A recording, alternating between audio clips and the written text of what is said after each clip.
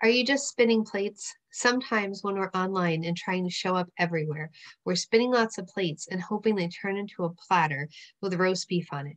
But unless you have a strategy that connects all the dots and makes your gears spin, you're just going to be spinning plates that don't get anywhere.